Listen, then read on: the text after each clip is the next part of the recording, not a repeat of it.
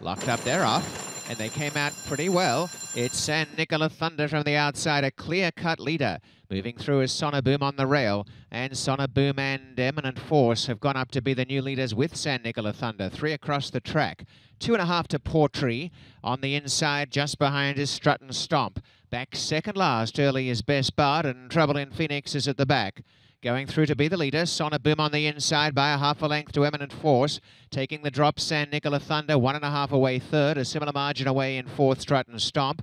Inside the three-quarter peg, and then Portree on the outside, the widest runner. Trouble in Phoenix back second last, and Best Bud has now dropped to the tail. The distance first to last is about six lengths, and the top two got away a little bit. It is on the inside, Boom, just a neck in front of moving up again, Eminent Force. Three and a half now, San Nicola Thunder. In no hurry, Strut and Stomp under tight hold. A half to Portree and sharing the back position, a Best Bud and Trouble in Phoenix.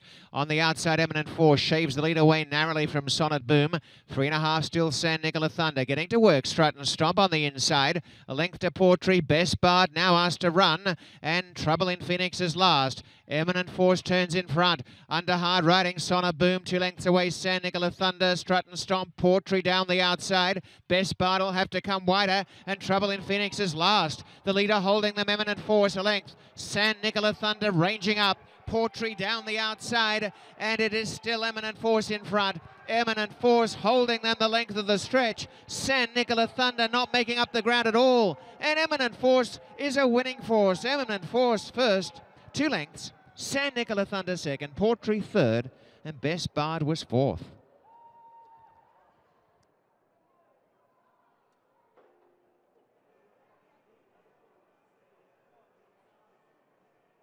To Connections Dale DeRusso, Solo Racing Limited and partner. Dale DeRusso winning trainer. The dam is Terragal, Seattle Slew Bloodline, and Hopestock Farm. Karen and Mickey Taylor are the breeders of the winner. Jesse Campbell on the front end on Eminent Force is the winner.